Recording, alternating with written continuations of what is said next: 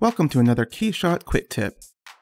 KeyShot Pro comes packaged with a powerful HDRI editor, which allows you to edit existing HDRIs to fit your scene. Or you can create one from scratch for a fully custom environment with maximum control.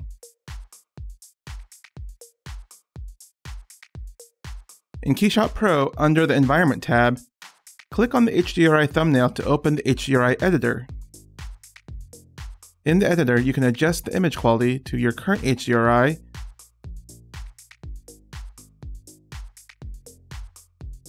add pin lights,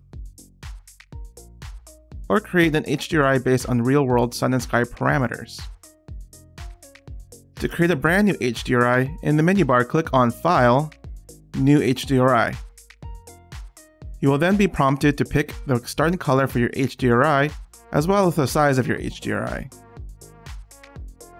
Start with the fill lights that give an overall illumination. In the Pins tab, click on the plus button to add a new pin.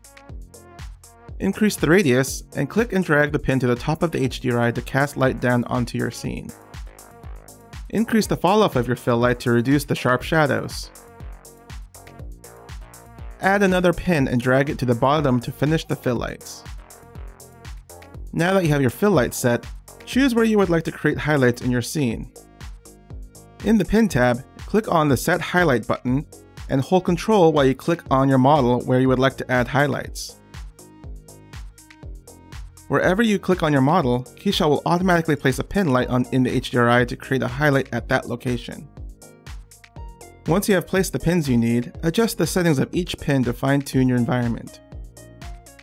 If you're trying to recreate a light box, try using rectangular lights. In addition to radius and fall off, you can also control the color, blend mode, and brightness of your pins. These toolsets and more make KeyShot Pro's HDR editor a powerful solution for rendering your scenes. Subscribe to our channel at youtube.com slash keyshot3d and go to keyshot.com slash learning to find more videos, tutorials, and quick tips.